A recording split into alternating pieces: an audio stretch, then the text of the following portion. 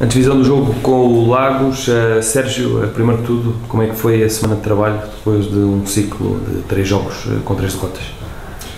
Uma semana diferente, uma semana em que muitos de nós estamos a pensar em, em coisas que não interessam e coisas que, que nos tiram o foco daquilo que realmente é importante.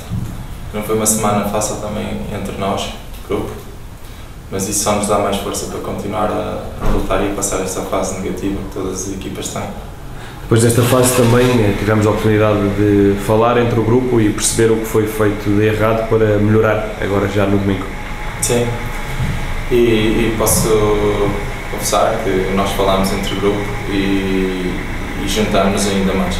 Porque é normal, nós, nós todos já passamos por estas fases, faz parte da nossa profissão e sabemos que são fases negativas que todas as equipas passam. Isto vai passar e vamos tentar já o fazê-lo este fim de semana. O que esperar deste jogo uh, frente ao Lagos?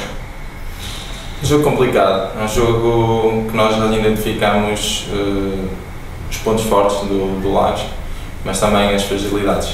Uh, é uma semana em que nós queremos dar a volta a esta fase e vamos entrar concentrados e, e determinantes naquilo que queremos. Alguma mensagem para, para os adeptos? Sim, que não nos deixem de apoiar. Uh, sei que é complicado às vezes viver as coisas de fora, mas acreditem que nós estamos a fazer tudo aqui dentro para, para mudar as coisas. Mr. Tiago Zorro, uh, o que esperar deste jogo com o Lagos aqui em casa? Um jogo difícil, com uma equipa que vem de uma, de uma vitória, uh, uma equipa que está, que está motivada certamente, que quer sair dos lugares baixos, uh, que se encontra nesta fase. Sabemos que é uma fase muito, muito precoce do campeonato, mas que esperamos dificuldades máximas. Como é que está a equipa depois desta série negativa?